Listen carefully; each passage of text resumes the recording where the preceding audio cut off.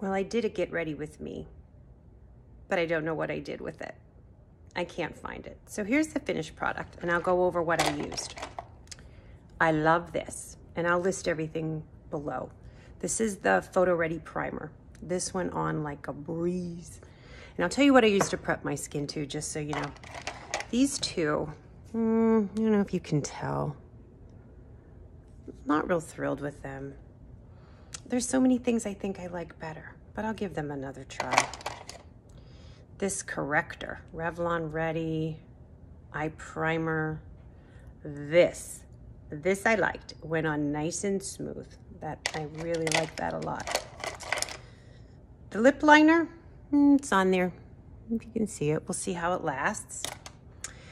And then the other products that I used, I used a Tati Beauty palette with uh, Soothe and Aura on my eyes.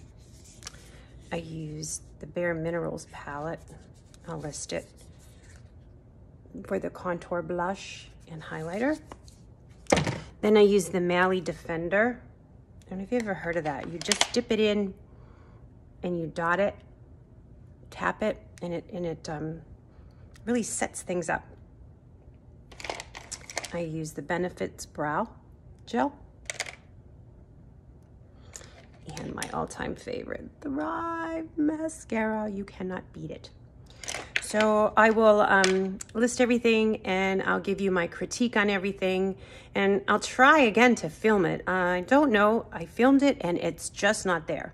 This iPhone 11, I don't know, it just loses things. So, and then they pop up a few days later, but I promised I'd get this out today. So I can't just sit around and wait.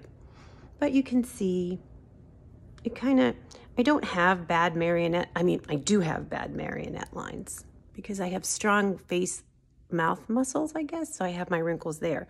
Don't have a lot. I don't have 11s and my forehead's okay. Um, but I'm, I'm not real thrilled.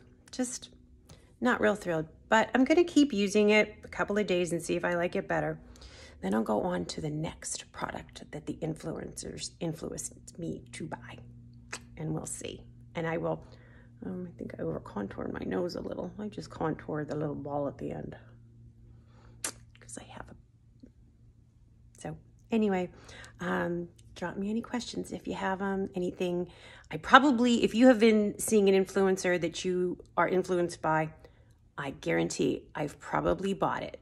So I'm 60.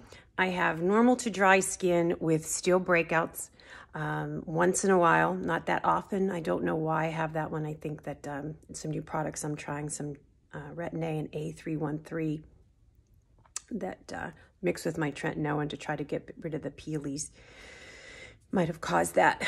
So um, if there's anything you'd like me to try before you go out and buy, I try, I buy, then I'll tell you.